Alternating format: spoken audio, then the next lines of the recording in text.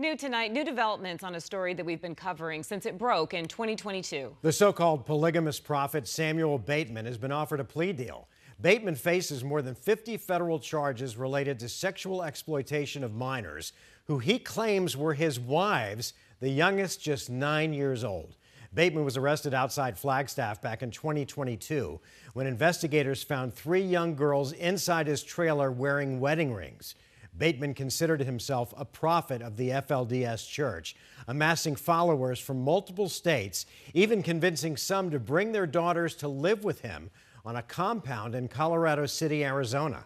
Some of those followers have already accepted plea deals, and now new federal court records say he's expected to take his own plea deal on Monday. Several other co conspirators have also been offered pleas and have two weeks to decide whether or not to take them. You can find out more at 12news.com.